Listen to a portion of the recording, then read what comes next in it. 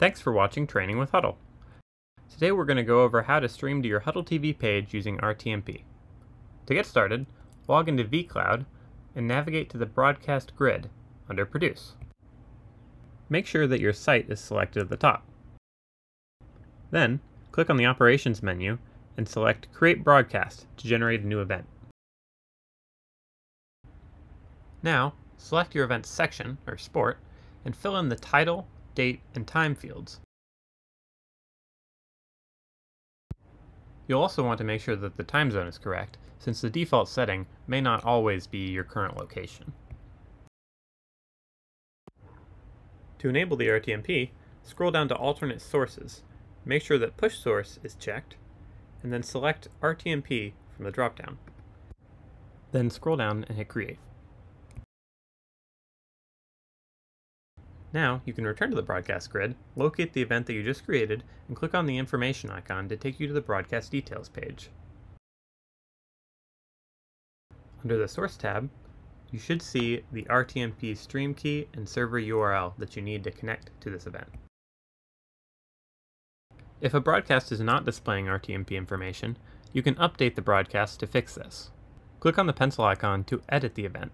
Then, Scroll down and follow the same steps we did previously before hitting save.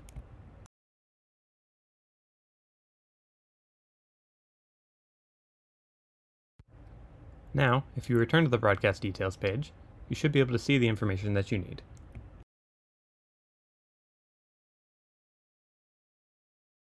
Because of the way RTMP functions, as soon as you connect to the broadcast, your stream will be live. However, there is a way to edit the RTMP so that you can preview the broadcast in test mode first. For this example, we'll use the test broadcast we just created. As you can see from the green dot, it's now ready to connect.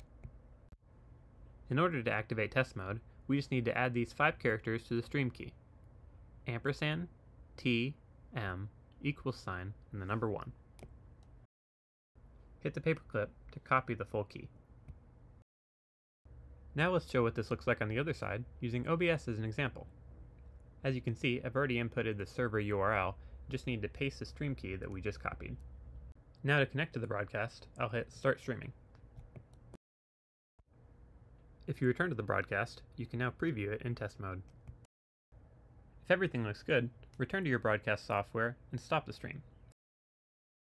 Then go into the settings and edit the stream key to remove those five characters, Resume streaming when you're ready. Now you can see that the broadcast is no longer in test mode, but officially live.